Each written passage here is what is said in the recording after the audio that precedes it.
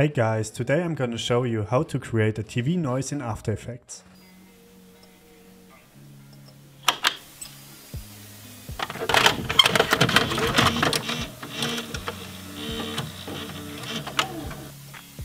First of all, my English is not the best, so I hope you can understand me.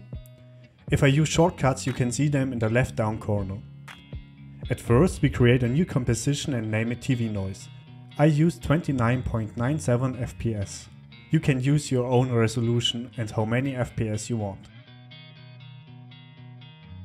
Now create a white solid and name it TV Noise 1. You don't have to name it, but I'm a little bit orthophonetic. Go to Effects, Noise and Grain and use Fractal Noise. You have to duplicate the layer with Ctrl D. Rename the second solid, if you want, to TV Noise 2 with right click, rename or press enter. Go to transform and set the scale to around 7.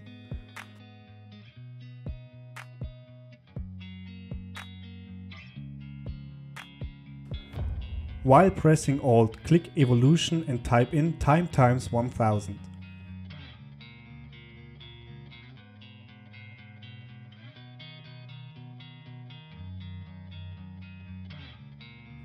Go to the TV Noise Layer 1 and open Transform. Uncheck Uniform Scaling and set them to around 3525.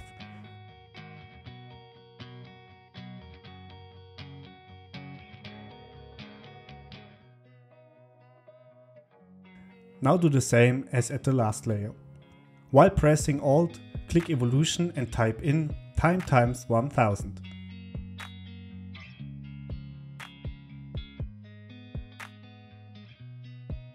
At last, set the blending mode from layer 2 to overlay and you did it! Thanks for watching and if you have some ideas for the next videos, write them in the comments. See you next time. Bye!